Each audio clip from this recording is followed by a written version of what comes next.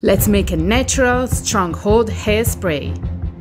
If you want crazy lioness hair just like me,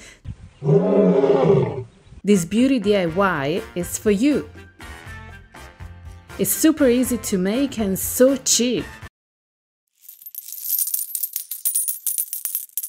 Once you make it, you're never gonna get back to store-bought toxic hairspray.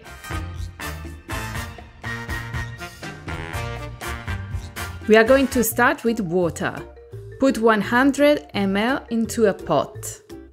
I'm using 100 ml because my, my spray container holds 50 ml, but you can make more, of course. Then add 1 tablespoon of sugar. I'm using raw sugar, but you can use a different type of sugar. And for a stronger hold, put 2 tablespoons of sugar. Heat it up on the stove and make sugar say make sure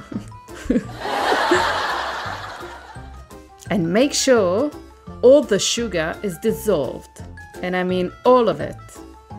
When it's done, put the water into your puring pitcher. I'm using a Pyrex because it has a strong glass. And let the water cool down.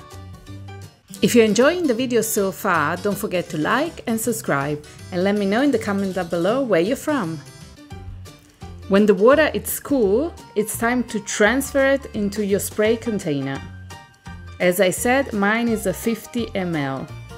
It's good if you put it into a puring pitcher because it's easier to transfer the water. Put the lid on and shake it, shake it.